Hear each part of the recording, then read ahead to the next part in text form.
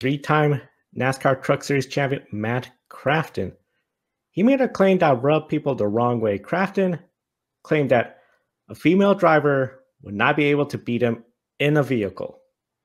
Now, Esha, Ben, we know motorsports has been a male dominated sport.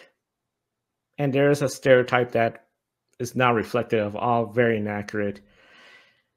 And at the same time, I gotta say, it, well, it is. But to you all too, is how frustrating is it to not only hear one person that races, but a three-time champion, potential Hall of Famer maybe to some folks, say such an ignorant, baseless comment.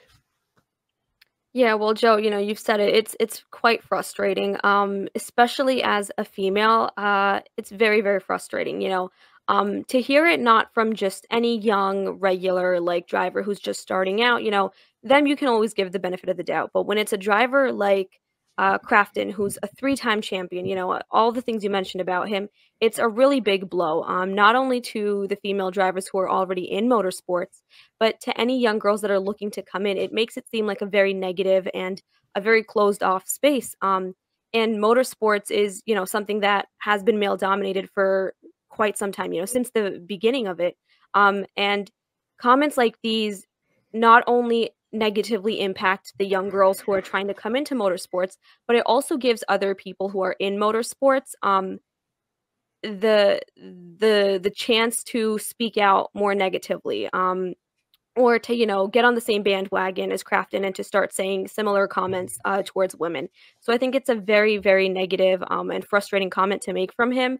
And you know, in my mind, if I compare it to uh, somebody who's also like a world champion. If we look at Formula One, right, it's like Max Verstappen telling the girls in the F1 Academy to um, that basically what they're doing is not worth it because they won't be able to beat him ever. Like it's a very, very negative comment.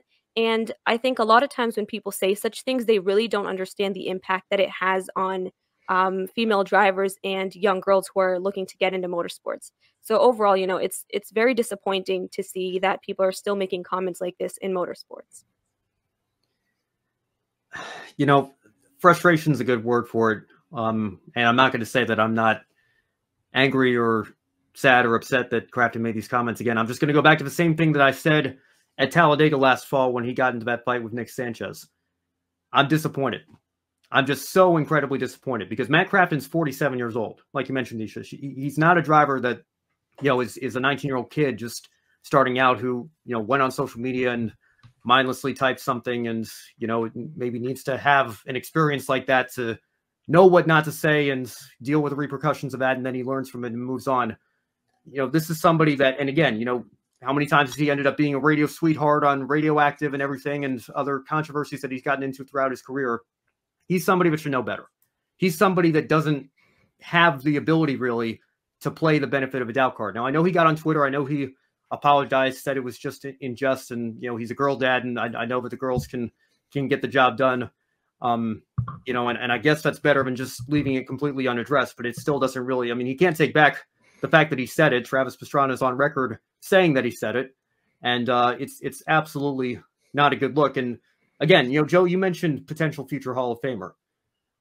I still will go on about this because we don't talk often enough about what Matt Crafton has done in the Truck Series throughout his career. Not only is he a three-time champion, he has not missed a race since the 2000 season finale. There are drivers in the field that literally have not they, they weren't alive the last time Crafton missed a Truck Series race. And if you want to put that into perspective, the longest tenured driver in Cup now now that Kevin Harvick's retired, racing full time in, in, in, top equipment at the very least, is Kyle Busch, who ran uh, his rookie year in Cup in 2005. So this record that Crafton has set and continues to set, because it's an ongoing record, he'll continue to add to it uh, as the season goes on here. I, think it's as untouchable as Jeff Gordon's in Cup in terms of the consecutive start streak. I don't know if we're ever going to see anybody, especially considering that this is a series where typically young drivers are using it as a stepping stone to move up the ladder, or older veterans are coming back to the series after a cup experience doesn't work out.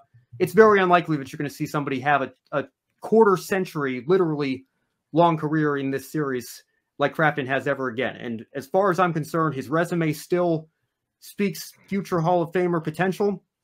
But comments like this, it it it just again, the only word that I can continue to come back to is just disappointment because for somebody who could be such a great spokesman for the sport and for the truck series in particular to get caught up in something like this again just a few months after the whole Nick Sanchez deal at Talladega, it, it is incredibly, incredibly disappointing to see.